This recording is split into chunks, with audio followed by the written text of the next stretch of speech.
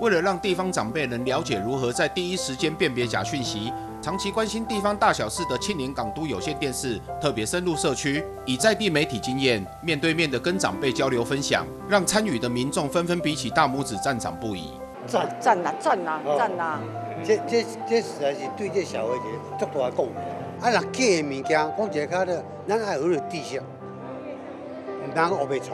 呃，因为高龄化的关系哦，所以我们的长辈呢，他们也经常使用手机，但是却不知道如何辨别我们的手机资讯的来源是否正确。那也感谢我们在地的地方台啊，我们的港都青年有限公司呢，提供我们社区长辈这样一个媒体辨识的课程，来教导我们的长辈如何去辨识这个讯息的真伪。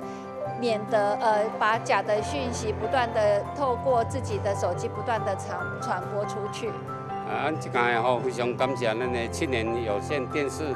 啊，专程为着咱这吼啊，走去带来咱开这课程，哦，咱的里面咱的长辈时代，怎样会用使用咱的啊手机 APP 的讯息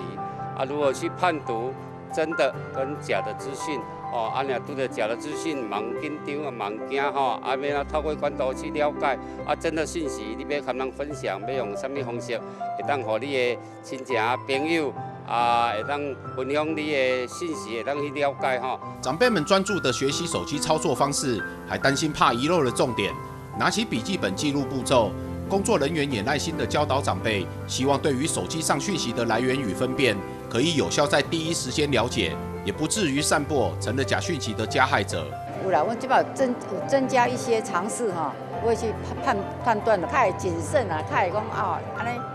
判估安尼，等一下不要马上花，啊啊丢走者，啊来看是真啊假安尼啊。咱呢中辈时代哈，尤其咱遮啊拢真有上进心啦哈，真有学习的精神。啊，咱我咱顶管的讲师一直讲啊，伊惊吼完全记袂完。啊，用笔记本啊，硬抄硬抄，啊，咱嘛希望啊，你都点点啊听，啊，赶紧静静啊听吼，啊，伊感觉伊部分吼，啊，伊甲记起来，啊，记起来，讲等于吼会当重复的学习啦，伊讲的重复学习。不论是从讯息的来源判断，到常用的拍照功能，福山里长辈们都像乖巧的学生一般，认真努力学习，也开心表示，媒体试读的课程运用到手机科技上。真是帮了自己，也可以帮到亲朋好友，来一起担任假讯息的主角者。福山里媒体试读站，记者李佳龙采访报道。